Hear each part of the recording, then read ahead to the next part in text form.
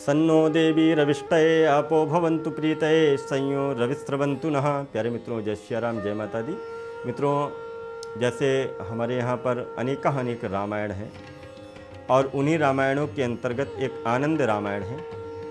तो आनंद रामायण में एक कथा के अनुसार ऐसा वृत्तांत आया है कि लंका पर चढ़ाई करने के लिए समुद्र पर बांधे गए पुल की रक्षा का भार हनुमान जी को सौंपा गया।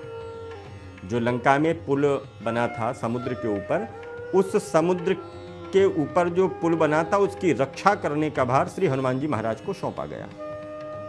हनुमान जी रात में भगवान का ध्यान करते और पुल की रक्षा किया करते थे। एक बार वहाँ पर शनिदेव आ गए और उन्हें व्यंग से परेशान करने लगे। हनुमान जी को कुछ बातें कहने लगे। हनुमान जी महाराज व्यंग से परेशान होने लगे।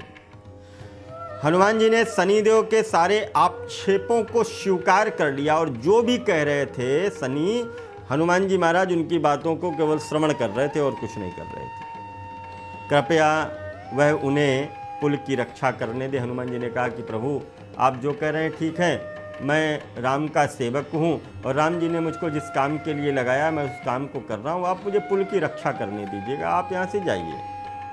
लेकिन शनिदेव नहीं माने।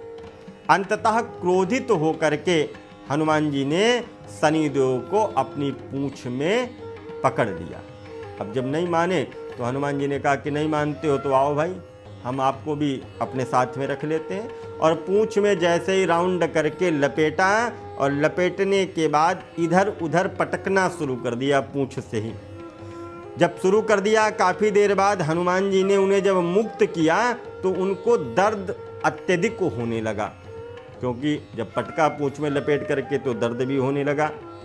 तो दर्द से निजात पाने के लिए उनको तेल लगाया गया। हनुमान जी ने कहा, अब अपने तेल, शरीर में अगर दर्द से निजात चाहते हो तो शरीर पर तेल लगाओ आप।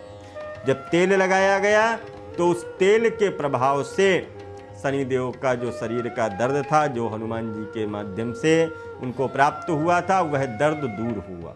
तभी से शनि की पीड़ा से ग्रसित व्यक्ति को शनिवार के दिन शनि मंदिर में जाकर के, पीपल के वृक्ष के पास में जाकर के, जहाँ पर शनि की प्रतिमा हो, वहाँ पर जाकर के शनि के साइड में खड़े होकर के शनि के ऊपर तेल चढ़ाया जाता है। और जब तेल चढ़ाया जाता है तो उससे जो हमारी पीड़ाएँ होती हैं, वो पीड़ाएँ दूर होती हैं। यही शनिवार को शनिदेव पर तेल चढ़ाने का विधान है, जो मैंने आनंद रामायण के माध्यम से आपको बताया।